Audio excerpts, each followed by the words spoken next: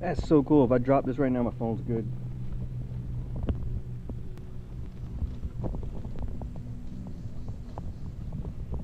Yep.